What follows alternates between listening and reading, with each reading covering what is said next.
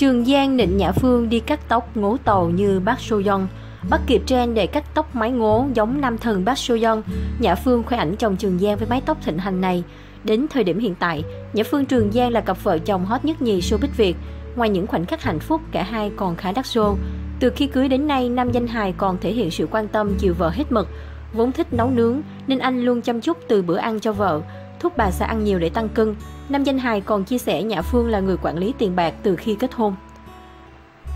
Nhã Phương thích chồng đẩy tóc ngố tàu, mới đây trên trang cá nhân của Nhã Phương vừa đăng tải hình ảnh mái tóc mới của chồng.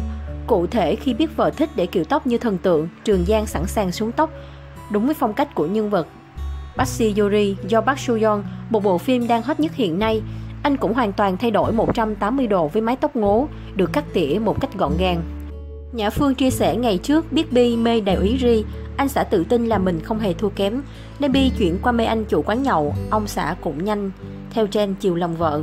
Đặc biệt đây cũng là lần hiếm hoi 10 khó thay đổi kiểu tóc, nên càng làm khán giả không khỏi bất ngờ vì độ nịnh vợ của anh. Bức ảnh của anh nhận được hàng chục nghìn lượt tương tác sau vài giờ đăng tải. Trường Giang bắt trend nhanh kiểu tóc ngố tàu của nam diễn viên Park Seo Yeon trong từng lớp Aeon. Ở phần bình luận, nhiều khán giả cũng dành lời ngưỡng mộ đến Nhã Phương vì đã có chồng quá cưng chiều, yêu thương hết mực và sẵn sàng làm những điều vợ thích. Nữ diễn viên còn chưa chọc ông xã khi để kiểu tóc này, một kiểu tóc mà hai số phận chị ơi. Đây chính là mái tóc mà những ngày qua không chỉ giới trẻ mà sao Việt săn đón trầm rộ.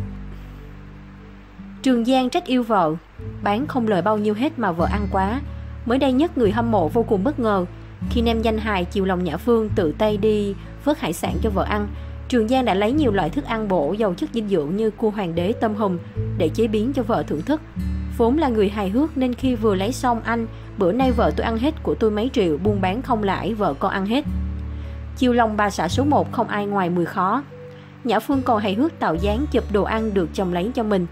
Vừa qua cả hai còn khiến người hâm mộ vô cùng ngưỡng mộ khi tung bộ ảnh kỷ niệm ngày Valentine cũng như hơn một năm về chung nhà đây có lẽ là bộ ảnh đầu tiên mà Nhã Phương muốn chụp lại những khoảnh khắc bình yên, vui vẻ bên người đàn ông yêu thương quan trọng nhất cuộc đời.